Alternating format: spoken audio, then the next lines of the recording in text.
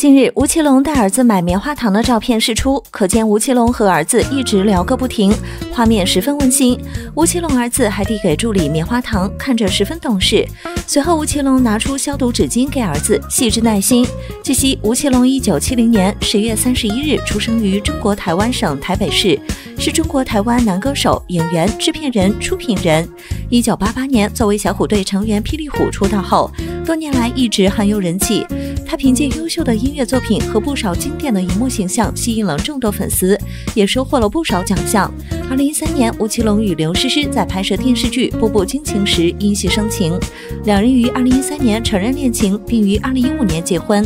二零一九年，刘诗诗顺利生子，吴奇隆也在社交平台发文公布喜讯。近日，他与刘诗诗频传婚变留言，好在公司高层亲自辟谣，称离婚是没有的事。此次，吴奇隆带着。